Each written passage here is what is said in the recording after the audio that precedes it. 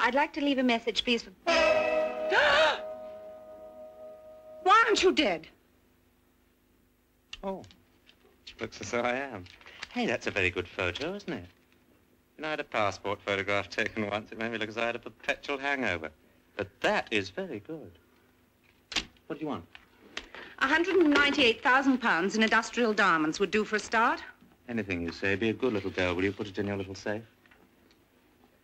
Ah. Oh. All right. What now? Are you going to arrange a handover? He's collecting them, or rather his representative. I'm to get full instructions later. Later? Didn't they tell you when? Between this evening and tomorrow night. What appointment?